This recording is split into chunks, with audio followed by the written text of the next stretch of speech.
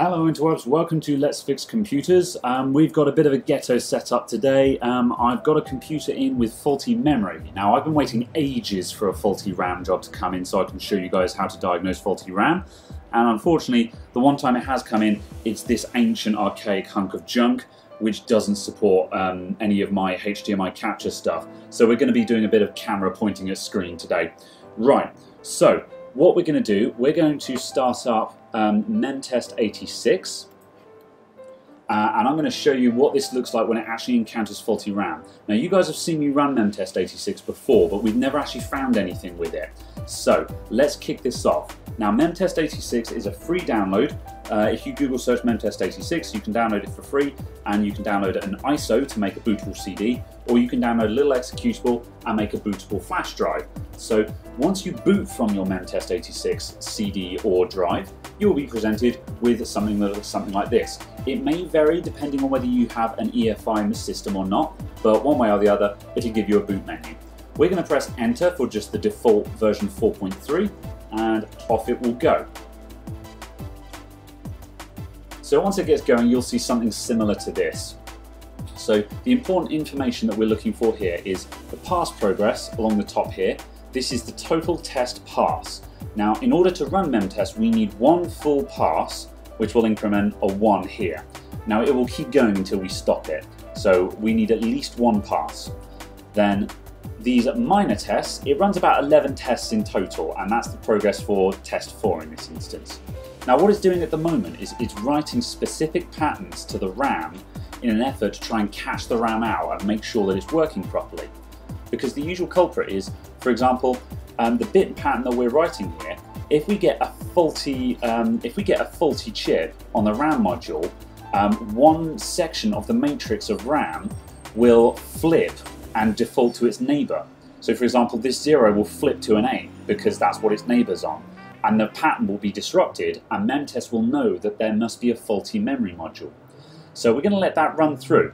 Now I've seen this run halfway through already and it came up with an error. So let's let that crunch through and we'll see what those errors look like.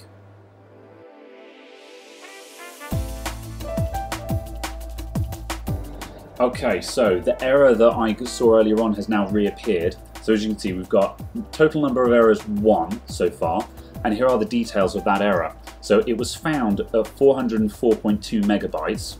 So this tells us that with two gigs of RAM on two one gigabyte modules, the fault is almost certainly going to be on the first RAM module because it's at the round about the 400 mark. But we'll investigate that more in a bit. However, first, I'm going to let this pass run through to the end just to see if it finds anything else. Because one error, it's not, you know, I mean, one error is a fail. We're going to replace some RAM on this computer now. However, the number of total errors that we find across the entire pass will give me a hint as to how bad it is and, you know, it will possibly just give us more information. So I'm going to let this test run through to the end. Okay, so we have completed our pass. So as you can see, the pass is, is now on one. So we've got one complete pass and we only found one error. That's fairly uncommon to be honest, but it does explain why the computer has been running for this long. Because this computer does actually start and boot into Windows and everything. Um, so, however, one error is still a failure. This is still a failure, we still have faulty memory in this, and this explains why the customer is having really weird, obscure, intermittent faults. Like they can't save documents and now and then it won't start for no particular reason. And like now and then the mouse doesn't move and that kind of thing.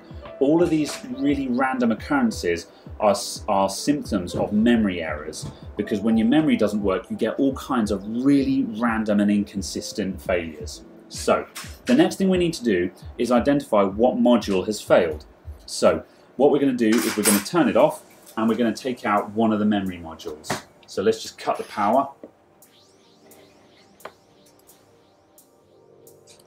and now I'm going to have a look. So we've got two slots in here, DIMM1 and DIMM2.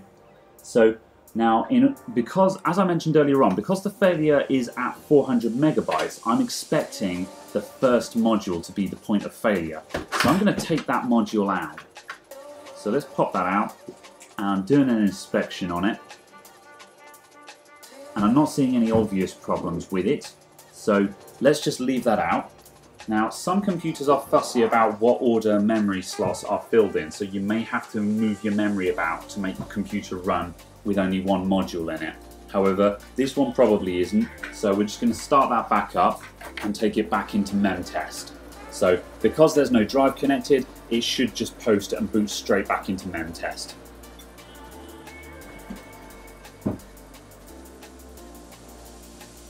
Alright, here we go. So let's hit enter. Okay, so now I'm going to leave this to run again, and I'm going to see if it gets through with no errors. Okay, so we've done a pass with one module installed, and as you can see, we've got one full pass, no errors. Notice that this one didn't take as long because we've got half the amount of memory, so there's half the amount of stuff that needs to be tested. Right, so now we're going to power off again.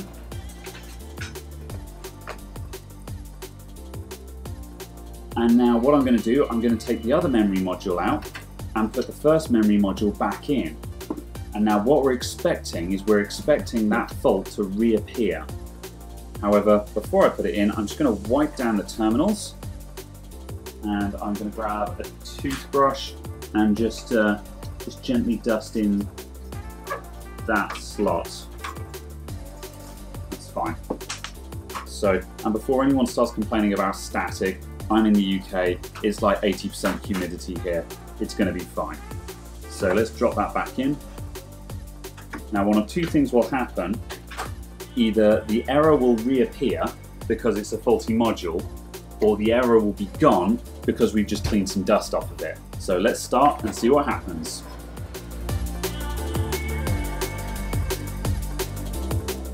Okay, so I left this running and our error is back. So you can see we've got one error across the board.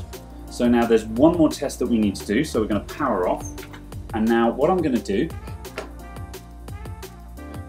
I'm going to move the same module to the other slot. And what that is going to do is it's going to, it's going to prove to us that it is definitely the module and not the slot that is faulty. Because now and then you can get a faulty slot on a motherboard. So I've moved across the other slot and we're going to start up and we're going to run the test again. Okay, and our single error is back, so we know that it's not a slot issue, we know that it's definitely this module.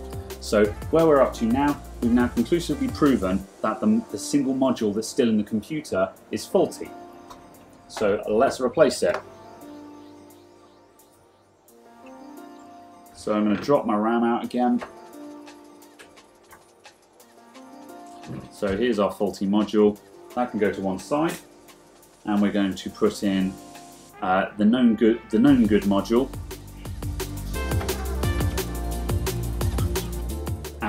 Have a spare module to replace with. Uh, now this one is untested. It's just from my spares bin because this is DDR2. So we're going to drop that in.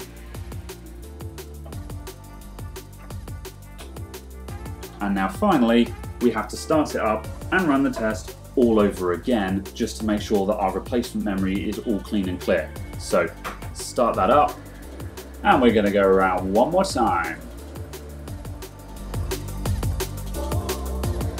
Or not, it's not posting with my replacement module in.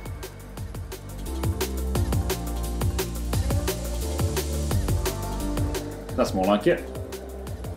Alright, well today I learned that this module is faulty as well.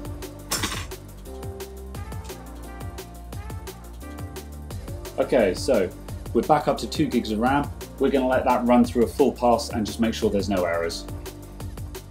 Okay, right, and we've now got a complete pass with our extra RAM in. So we've now got 2 gigs of RAM, no errors, pass complete. So we're all finished with this computer now. So I'm going to go away and service it. So that is how we test RAM. Those are the kinds of errors we expect to see from memtest. So this was a really light failure, one error on the entire on the on the entire system. That's really uncommon. Very rarely just one error. However, just one error, that could be that random blue screen or that random crash that you get like once a week, once a month. It could be just a single error on one module of your RAM. That's what memory errors look like. So when you're chasing that really weird intermittent fault, run them tests, just make sure your RAM is okay. Thank you very much for watching everyone. I'll see you all next time. Goodbye for now.